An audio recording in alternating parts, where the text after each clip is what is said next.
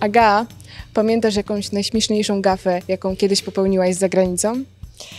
Tak, y, jak byłam pierwszy raz we Włoszech, to poszłam do kawiarni i zamówiłam sobie latte, bo zawsze w Polsce piłam latte. No i dostałam szklankę mleka. Gdybym wtedy ym, znała odcinek Easy Italian o rzeczach, których nie należy robić, gdy się jedzie do Włoch, to pewnie uniknęłabym tej gafy.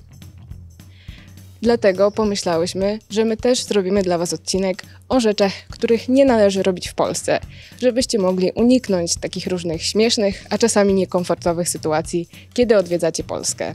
Zapraszamy.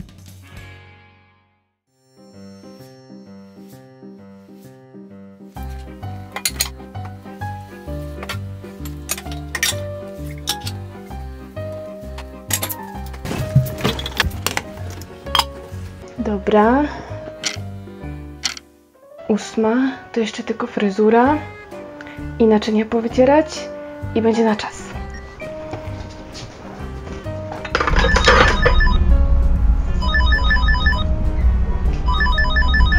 Hej, to ja. Ale już? No, ósma jest przecież. No dobra, wchodź. W prywatnym życiu Polacy nie są niewolnikami czasu. Wyobraźcie więc sobie, że jeżeli ktoś was zaprasza na 18, to właśnie o tej porze wasza gospodyni biega jeszcze po kuchni, która nie jest do końca posprzątana, ma na sobie getry i poplamiony t-shirt.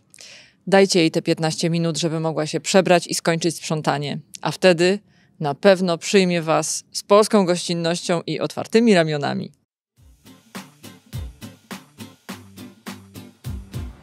Ej, jak tam u was? A w porządku, przyjeżdżamy do Krakowa za dwa tygodnie nagrać odcinek. O, super, a o czym będzie? E, będzie tam festiwal pierogów i tak myślałam, żeby O, zapytać super. ludzi, jak lubią pierogi, Pomogę wam. jak robią. Proszę cię. Bo co, liczysz na pierogi? Tak, oczywiście. No dobra, możemy się zastanowić. Dobra, super. A ty nie chcesz się czegoś napić? Mam piwo właściwie. Piwo. Tak. A masz odbierać? Bo ja nie przyniosłem. Tutaj. W parku. No, w parku. No kurczę, w parku Teraz. ciepło jest. Po ciężkim tygodniu to jest... No, nie napijesz się? E, nie, ja nie, ale jak chcesz... Trochę? Nie? Nie, ale poszukam ci zapalniczki. Dobra. coś. Dzień dobry. Jak ty możesz... Dobrze się pije panu to piwo w parku? Świetnie, ale o co pani chodzi? Nie można pić w miejscu publicznym. Mandacik. No jak to nie można? No mówiłam ci, No nie że mówiłaś, nie no pije ja- się w parku. Dałaś mi odbierać, no. No ale... Polacy znani są ze swojego dosyć liberalnego podejścia do alkoholu. Jest jednak jedna zasada, o której trzeba pamiętać. W Polsce prawo jest takie, że napojów alkoholowych nie można pić w miejscach publicznych. I nawet jeżeli żaden przechodzień nie zwróci Wam uwagi, to jeżeli napotkacie policjanta albo straż miejską, możecie dostać mandat. Dlatego pamiętajcie, alkohol pijemy w miejscach do tego przeznaczonych, takich jak puby, restauracje albo prywatne posesje. Andres, napijesz się kawy? Tak, chętnie. I ciasto też do tego? O, poproszę, tak. A może chciałbyś się komputu teraz napić? E, nie, nie, nie, dziękuję, wystarczy. A jesteś głodny? Może jakąś kanapkę ci zrobię? Nie, nie, dobrze, przed chwilą jadłem. Będzie dobrze z tym czasem. A jakbyś chciał, to mam jeszcze nalewkę od mamy. Napijesz się?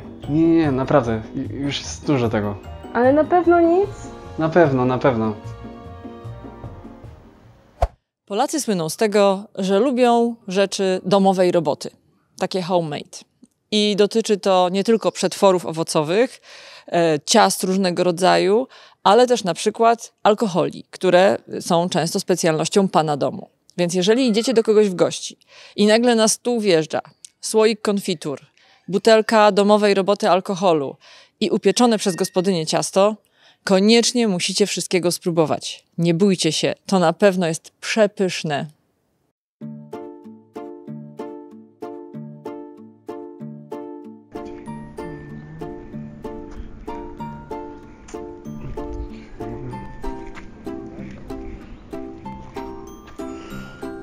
Uh, excuse me? Could you tell me the way to the nearest tram station? Nie rozumiem. Mówisz po polsku? Uh, no po polsku. Uh, can you... T- I'm looking for a tram station. Mm, Szukasz czegoś? Right. Tramwaje? Right, yeah, I'm looking for the tram station. przystanek tramwajowy. Yeah, can you tell me the way to the nearest tram station? Mm, to musisz iść tam do końca w prawo, w lewo, prosto, prosto, prosto, prosto i jesteś na tramwajach. Uh, could you repeat? I'm supposed to go straight and then to the right? Mm, nie rozumiesz.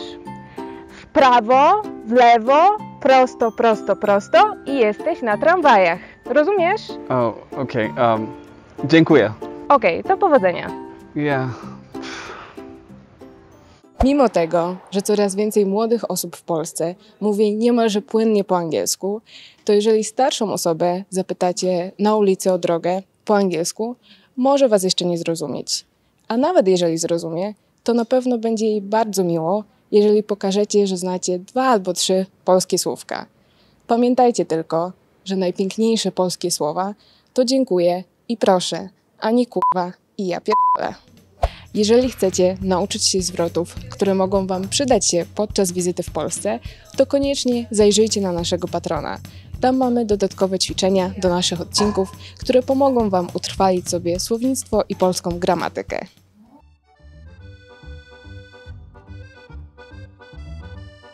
Weź, przecież polski nie jest taki trudny. Jak to nie jest taki trudny? Przecież jest jednym z najtrudniejszych języków. No zawsze tak się mówi tutaj, ale przecież są języki dużo, o No, wiele na trudniejsze. przykład jakie? No nie wiem, takie, gdzie na przykład masz słowa, które składają się z różnych elementów i że masz na przykład rodzajnik, masz e, przedmiotnik i No masz i w tym różne takie słowa i z tego stworzysz jedno słowo. A w polskim nie masz rodzajników i musisz wiedzieć, jaki to Tak, jest ale rodzaj. nie jest to I sam na przykład węgierski albo fiński, no to jest dopiero No. trudny język. Albo chiński.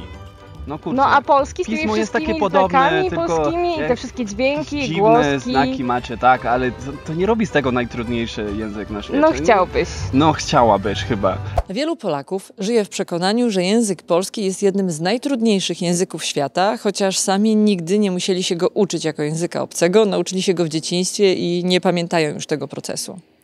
Wzmacnia ich w tym przekonaniu duża ilość memów, które krążą w internecie na ten temat.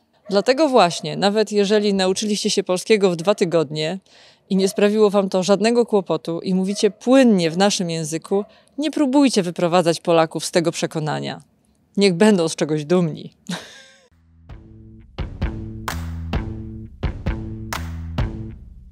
Hej, co u ciebie? W porządku. To dla ciebie. A, dziękuję. Czy mam ściągnąć buty? Nie, nie, nie, nie trzeba. Na pewno? Tak, na pewno. Dobra.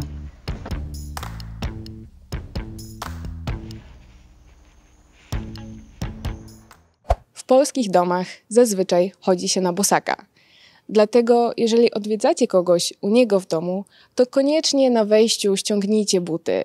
Nawet jeżeli ta osoba zapewnia was, że nie musicie tego robić, to po cichu liczy na to, że nie wniesiecie jej brudu do domu i nie będzie musiała po was myć podłogi. Niektórzy mają nawet specjalne kapcie dla gości, żebyście nie musieli biegać na bosaka. Nie musicie oczywiście ich przyjmować, ale w butach raczej nie wchodźcie. Gospodarze na pewno to docenią.